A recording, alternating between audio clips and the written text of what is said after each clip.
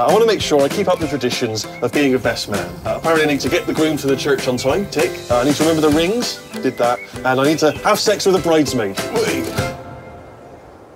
Maybe when they're older. I thought I got it made. I married a doctor. First word, first word. Red, red, red. Sick, lazy, stupid, disappointment. That was nine months ago. It's just something in our marriage that hasn't quite gelled.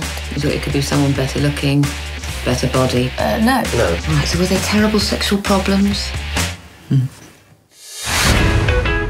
Chloe's lovely. I don't know how you let her slip away. No, she's too nice. She's too perfect. Holy sh! Who we got here? Natasha Redfern. We should get to know each other, Miss Redfern. Guy, right? Yeah.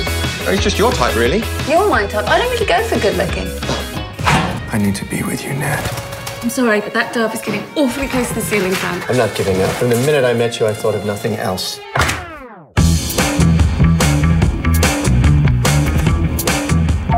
Hello. Is that my dirty little slut of a wife?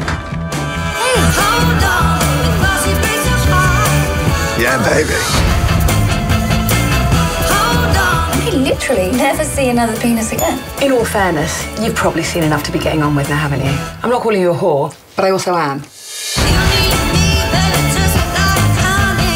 Digital photo frame. We've got a camera on us. We'll have to try it out later.